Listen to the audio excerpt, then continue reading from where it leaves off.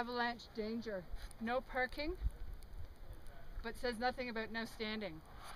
So I'm right now trying to get Ian over here. But it, but it does say no parking overnight. We're uh, held now at the uh, the Snowbird Lodge because Avalanche Control has closed the roll roads. They're uh, they're blasting for uh, apparently for our safety on a uh, wicked snow day. There's Lonnie, and guess what?